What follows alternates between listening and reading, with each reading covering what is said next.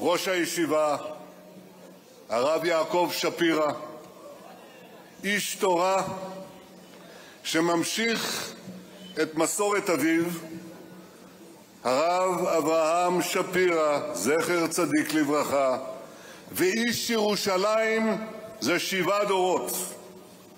הרבנים הראשיים לישראל, הראשון לציון, הרב יצחק יוסף, והרב דוד לאו, ממשיכי דרכם של רבנים ראשיים מהוללים בעם ישראל.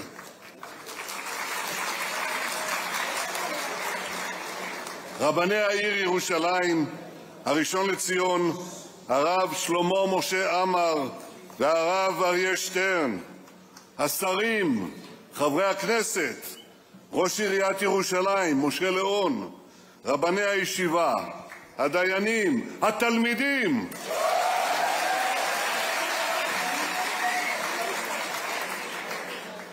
הרב שפירא, משנה לשנה הם רבים יותר וצעירים יותר.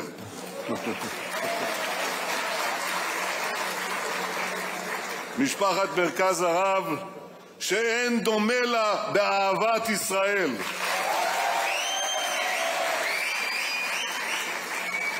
אני מבקש לומר לכם כמה שהמפגש הזה, המיוחד הזה, היה חסר לי ולרעייתי שרה בשנים האחרונות.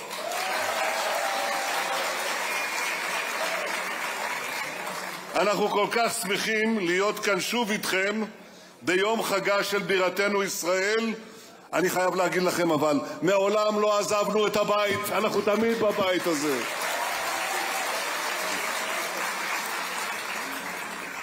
ולהיות פה ביום חגה של ירושלים זו חגיגה מיוחדת. ירושלים שהתעטפה בצבעי כחול לבן עם מצעד הדגלים שצעד ברבבותיו.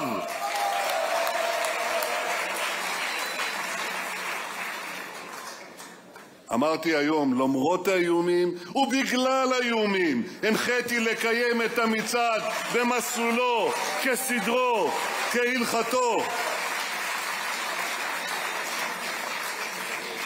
אלפי דגלי ישראל שהונפו בו הם התשובה שלנו לכל ארגוני הטרור.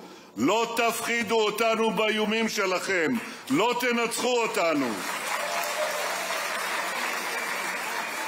מי שינסה לפגוע בנו ישלם את מלוא המחיר, דמו בראשו, כפי שקרה רק לפני כמה ימים במבצע מגן וחץ. המסר שלנו, המסר שלנו בייחוד השנה, הוא שאו ציונה נס ודגל. ואני אומר זאת, מכובדיי, גם כתיקון למשהו שאירע בירושלים לפני שנה וזעזע אותי, אני בטוח שהוא זעזע גם אתכם.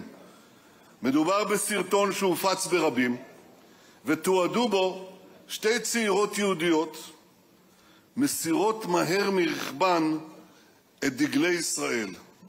כשהרכב שלהם נעצר ברמזור, הן יצאו ממנו והחביאו את הדגלים בתוך הרכב, משום שהם חששו שפלסטינים עם דגלי אש"ף, שהיו לא רחוקים מהם, יפגעו בהם. כל זה אירע לפני שנה בלבד, בלב הבירה שלנו, במרחק של כמה עשרות מטרים מתהלוכה של מתנגדי ישראל עם הדגלים המתריסים. אגב, אם למישהו לא ברור, זה לא קרה בתקופה של הממשלה שלנו, כן.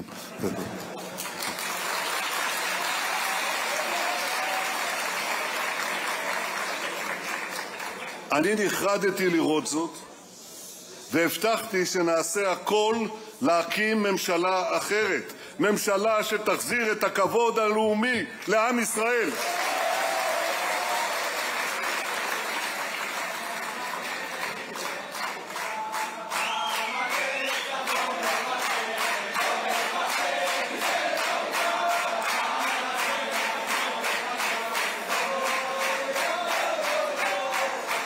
הבטחנו להחזיר את הכבוד הלאומי לעם ישראל, וקיימנו. עכשיו אני רוצה לומר משהו, וכולם מקשיבים, אני רוצה לומר משהו לחברי בקואליציה. אין ולא תהיה לנו ממשלה טובה יותר. ממשלה לאומית, ממשלה תקיפה, ממשלה שדואגת למורשת ישראל, להתיישבות בארץ ישראל, לעם ישראל, לעתיד ישראל.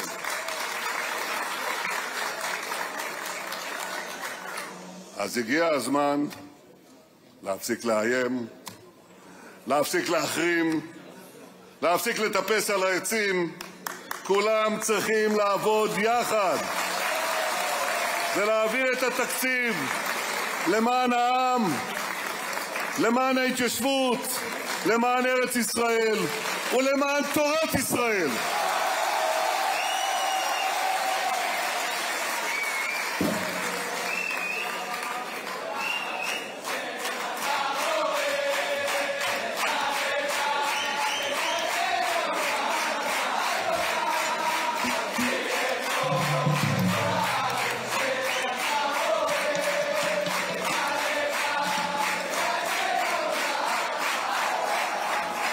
עכשיו אני רוצה לומר, לדגל שלנו בתקופה האחרונה היתה עדנה מחודשת. הביקוש לדגלי ישראל אצל היצרנים שבר שיאים חדשים, עלייה של מאות אחוזים. וזה לא רק בגלל מצעד הדגלים. אתם אה, מן הסתם יודעים שיש במדינה הפגנות מצד זה ומצד אחר, שאלפי דגלים מונפים בהן. אה, ההפגנות הללו שלעצמן מגחיכות את ההשמצות חסרות היסוד שנהפוך לדיקטטורה. אני אומר לכולם, אנשים אחים אנחנו. מבלי לוותר על עקרונות חשובים, תמיד נחפש את ההידברות ואת ההסכמות. והתקווה שלי שיגיע יום שכל הדגלים יהפכו יום אחד לנהר שוצף אחד, כולנו יחד.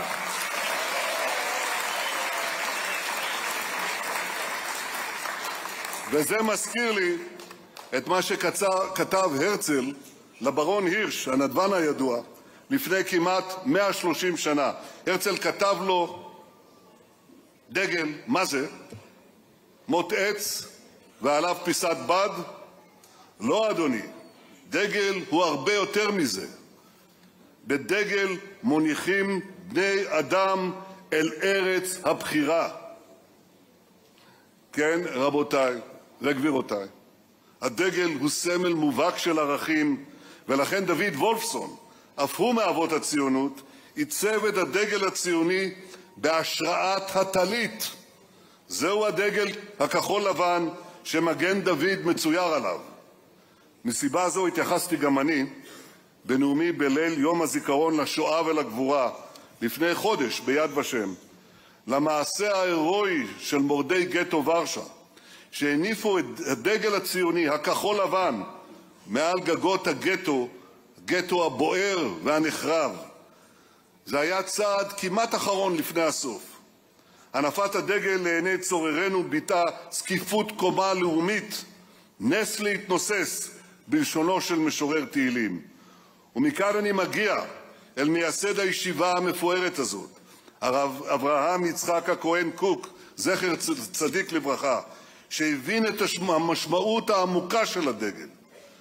דגל ירושלים, קרא הרב קוק לתנועה שהקים, דגל ירושלים, במטרה לחזק את הצדדים הרוחניים של גאולת ישראל. לא זו בלבד, אלא שהרב קוק היה הנואם המרכזי במעמד שבו הוכנס דגל הגדוד העברי ב-1925 לבית-הכנסת החורבה ברובע היהודי. אני מרגיש קשר נוסף משום שהמפקדים, המפקד של הגדוד העברי הזה, האנגלי ג'ון הנרי פטרסון, היה הסנדק של אחי יוני. הקשר שלנו מגיע מכל מיני קשרים גלויים ונסתרים שמחזקים אותנו בברית איתנה, ברית העם היהודי המתחדש בארצו. מי שקורא את הדרשה של הרב לכבוד הדגל מתרשם מן הסמליות החשובה שהוא ייחס לו. אחדות העם, ייחוד לאומי, פלא קיבוץ הגלויות, זכותנו על ארץ-ישראל, גבורת לוחמי ישראל, ועוד ועוד. והדברים כמובן קשורים לדגלים של שבטי ישראל, עליהם נקרא השבת בפרשת במדבר. לרב קוק, מענקי הרוח ביישוב העברי, היה ידיד נאמן שחלק איתו השקפה דומה על הדגל. אני מתכוון לסבי, הרב נתן מיליקובסקי נתניהו, זיכרונו לברכה, שכמו הרב קוק למד בישיבת וולוז'ין המפורסמת בבלארוס. עוד קשר. קשרים לא נפסקים. אתם ביטאתם את זה בצורה מרגשת מאוד בשי שנתת לי, עם ההספד, המכתב הנפלא של הרב קוק למשפחתי. הרב קוק וסבי נפגשו בהזדמנויות שונות, וכבר סיפרתי כאן בעבר על ההספד המופלא של הרב קוק בהלוויית סבי.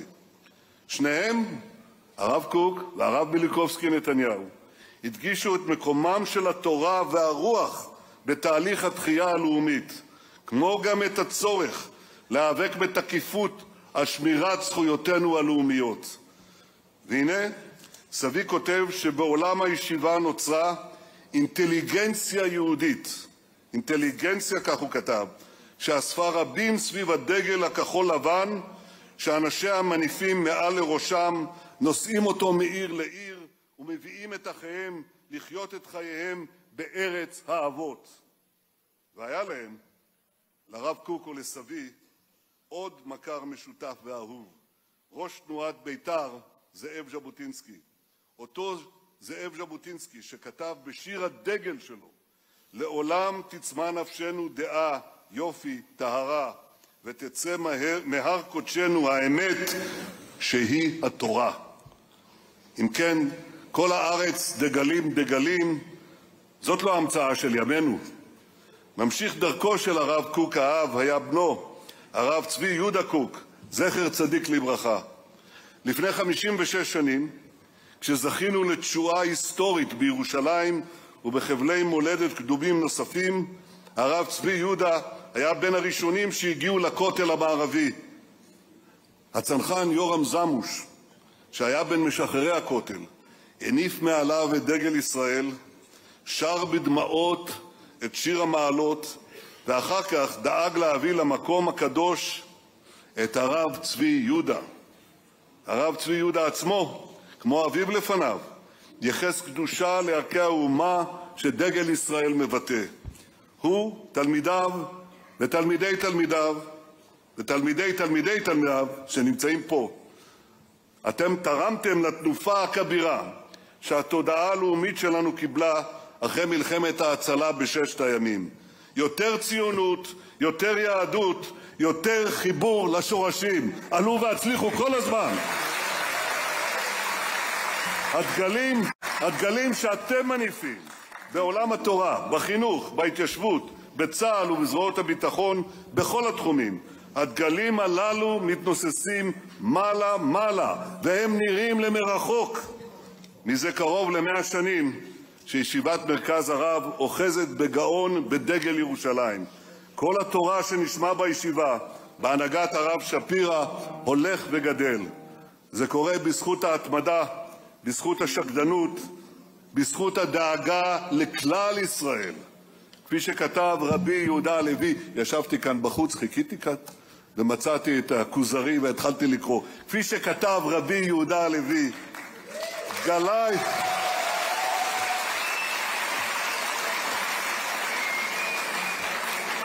גלאי כן תרים על הנשארים, ותלקט נבזרים כמלקט שיבולים. שירה חדשה, שיבחו גאולים, גאולים מלשון גאולה. ובכן, יש לי בקשה אחת מכם לסיום.